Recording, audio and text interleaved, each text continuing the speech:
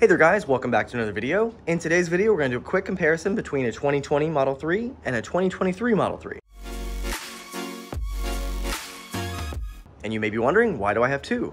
Well, I'm actually selling this one to Carvana and I purchased this one yesterday. So what I have is a 2020 Model 3 Standard Range Plus, and this is a 2023 Model 3 Long Range. Now, of course, at first glance, they look very similar because the model has not changed much since it was released back in 2017.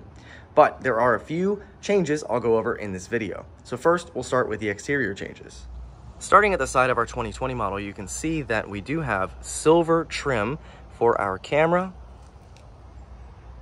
for our mirror, and all the way around the window frame, as well as our door handles. In comparison, our 2023 model has all of that in black instead. So our camera is black, our mirror trim is black, the trim around the windows, as well as our door handles. Another change is the headlights. Here is our 2020 model, and here's our 2023 model, and you can kind of see that projector beam in the back. I believe these are matrix headlights. Might be a better look on the other side here. My 2020 Model 3 has these sensors at the bottom bumper on the front as well as on the back. And these help with distance. On the 2023 model, those are no longer here, so it uses the cameras for distance and completely relies on those. And here is the rear bumper, just to show you those sensors. And on our brand new Model 3, there are no sensors at all. Here is one of our side cameras on the 2020 model and the side camera on our 2023. This may be a little hard to see, but here's our pillar camera on the 2020 model. It does have a lot more foam in here, and here's the camera on our 2023. Now the wheels on my 2020 Standard Range Plus did come with hubcaps, however they are a different variation of the current rear-wheel drive hubcaps, but the underside does look pretty similar. These are 18 inches. With the 2023, I decided to go for the 19 inch wheels, as you can see here. And here's our 2020 Model 3 with its frunk open. You can see the honeycomb design underneath, our struts on the sides. Our frunk has no liner, fairly deep. We have the tow hook right here. Here is our 2023 model, very similar. Same honeycomb pattern underneath, struts, and our frunk does have a liner and the tow hook is now in the center. The back end of the 2020 and the back end of our 2023 the trunk on our 2020 is not automatic. It does have a button right underneath the T. Will pop open like so, lift it up. Here's the plastic underneath. We do have a large opening. As you can see here, I have a liner in. It does use carpet underneath. And we do have storage underneath pretty deep, as well as some storage on the side. And just to show you how deep that is, it's a very deep storage, so you can probably put maybe even a cooler in here. The trunk on our 2023 is automatic. Same button underneath the T. The inside of the trunk is just as cavernous as the 2020. We do have carpeted mat, and we also have the same storage space to the side as well as underneath. The 2023, of course, has the automatic trunk, so you just press the button to close.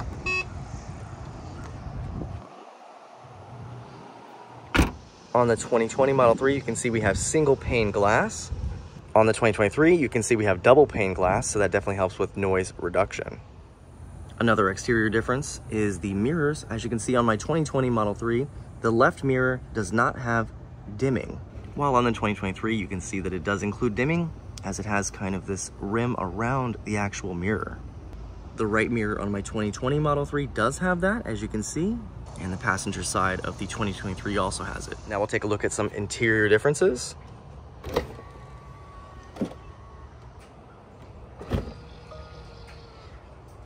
The interior on my Model 3 from 2020 is white and has held up pretty well, if you're wondering. I did choose the black interior for the 2023.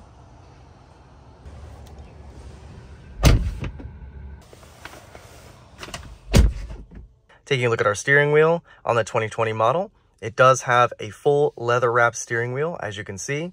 We do have some separators here where it's sewn in, and it is a little bit thicker than the 2023. The scroll wheels on the 2020 model are rubber. And I'll be honest, I'm not a super fan of them. They do have some texture on them.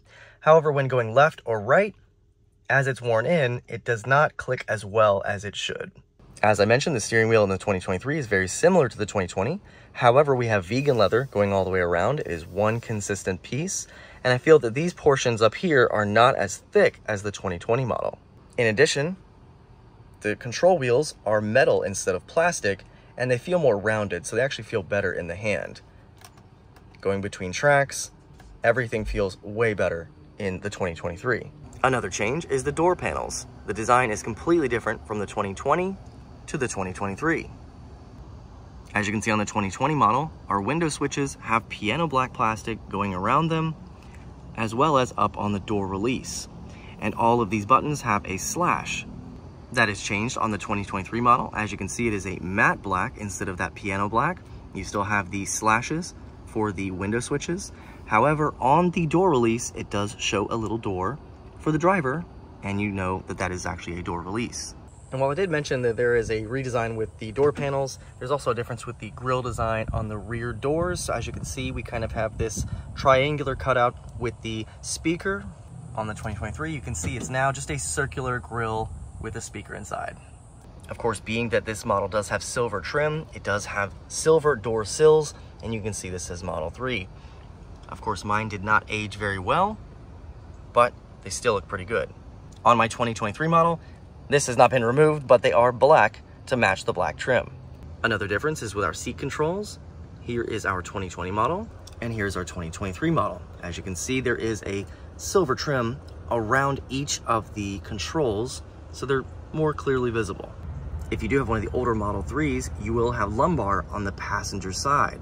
However, on the new models, you no longer have that and you have a blank where the lumbar support would be on the 2023. Now taking a look at our console in our 2020 Model 3. I have covered these with a cover due to the piano black plastic underneath and it looks very bad when it gets dirty. This was changed in the 2021 model year, but if you have one prior, you know that this is a very cavernous console.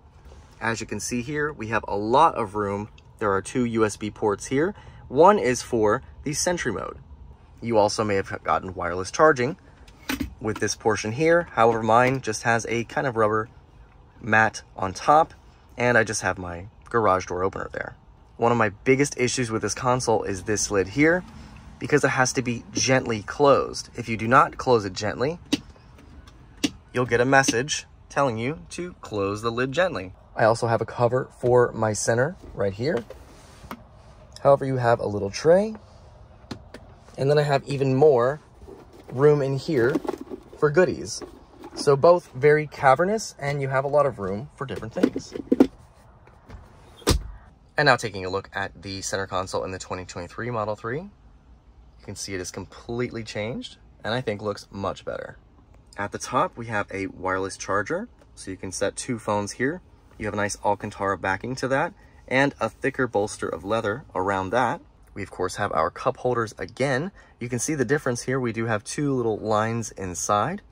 And then we have our console storage with silver trim going all the way around and a nice gray color. And this moves up like so. And then you can see inside here, and I would say it's pretty cavernous, but not quite as cavernous as the other Model 3. And to close, and the USB port in the 2023 is in the glove box. And if you buy it new, they do include a flash drive, 128 gigs with a Tesla logo. And here is our center, and this should be very similar. As you can see, there is no tray like the 2020 model, but the storage is exactly the same in this one. Another difference I noticed is with the visor. On the 2020, you can see that the design is going to be very similar. Pull down for your mirror, you have two lights, and you have a traditional clip for that visor, and that pops out like so, clips back into place. And on the 2023 model, you can see again, very similar, the same type of mirror, lighting. However, the clip is different here as it's using a magnet instead of a traditional plastic clip. Another interior difference is with the rear. As you can see on the AC vents, we do have two USB ports. These are USB-A on the 2020. And on the 2023, they are USB-C. Another large difference is with the display. And while the display is the same, the inside is different. What I mean by that is the processor is different. So if we go to additional vehicle information here, you can see that this one is using an Intel Atom processor, while the 2023 is using an AMD Ryzen processor. Another thing I'll show, but I won't demonstrate here, is the cabin heater. On the older Model 3s, it is a resistive heater, and on the newer Model 3s, it is using a traditional heat pump. Another difference I noticed with the key card here is that while on the front they look the same, this one is my older one. As you can see, the Tesla embossed pieces came off, but the front is the same. What's different is the diagram on the rear of each key card. On the older version, it shows a full photo of the car, shows a zoomed in portion with the pillar, and how to unlock with the key card. While on the newer version, it just shows a zoomed in portion of the pillar, where to place the key card, and then you can unlock and lock with that key card. And just to give you a quick look around each car, just to soak in the differences, here again is our door panel on the 2020 Model 3 our dashboard with the white trim, steering wheel, the screen, passenger side, our white seats. As I mentioned, they have aged pretty well. Here's our back seat, front seat, trim. This has been scratched up very much, but I'm pretty sure that's on every single Model 3. Here's our pedals and our back seat. Here's our door panel. Here are our seats. The rear. And of course, that huge roof. Taking a closer look at the 2023 interior compared to the 2020, you can see we have that wood grain up at the top the Alcantara. This would change if it is a white interior. It'll have white trim here. The overall dashboard is the same. You have you would have white trim here. Steering wheel, center console, passenger side. Here are our black seats, center console.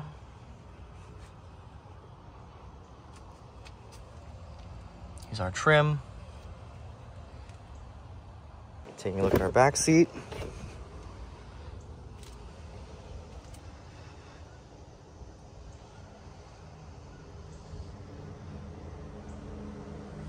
Black seats and door shelf. And of course our large windows at the top. So there you guys have it, a quick comparison between the 2020 and 2023 Model 3. Of course, this is a long range, this is a standard range. So there are some additional differences between the two, but you can kind of see the exterior and interior differences uh, between the new and old. So of course, that's a very minor refresh compared to some other brands. Usually when they do a mid-cycle refresh with a car, they'll change the front, they'll change the rear, they'll change some interior bits, and maybe even some engine choices. Uh, with the Model 3, really not huge differences. But of course, if you're coming from an older one to a newer one, you can kind of see what to expect. Of course, there are some things that are missing here, so you're not getting the ultrasonic sensors on the new model. If uh, you wanted that passenger lumbar, which honestly I've only seen in the Model 3. I've never seen passenger lumbar in another car unless they feature that in luxury cars, but it's really not a necessity, but you lose that with the newer models. Aside from that, everything is very similar. You've got the different trim on both models, the different lighting on the front, You've got some uh, modifications to the center console. That's one of the biggest changes I enjoy. And of course, if you come from an old one to a new one, you're going to get a new battery, which definitely makes a difference. If you get one of the newer rear wheel drive models from a standard range, you're getting the L LFP battery. If you're getting a long range, you're gonna still get the same type of battery. However, it's just a little bit less range on the newer model. But anyway, guys, there you have it. Just a quick comparison. Hopefully that helps if you are looking between the two different models. If you have any questions or comments, feel free to leave them down below, and I'll see you guys in the next one.